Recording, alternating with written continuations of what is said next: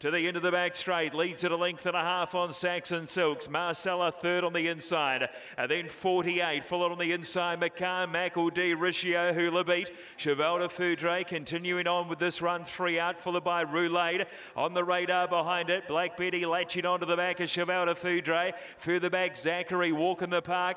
And there was two lengths away, Aqua Attack at the back end of the field with around uh, 650 metres to go. Sefton the leader. The outside Saxon Silks. Third Marcella. 48 scrubbed up. In the middle McElD going okay but needs it out. Cheval de Foudre continuing on with this big circuit navigating run.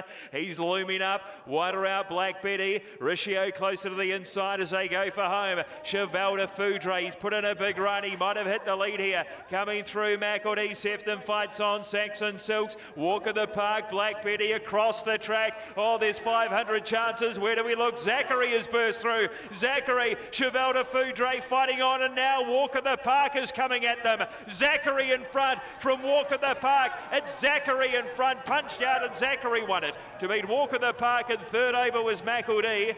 Close up Cheval de Foudre, a big run. Black Betty Hula Beat Roulade, followed by Sefton. And then came the next Aqua Attack, Saxon Silks, Marcella Riccio.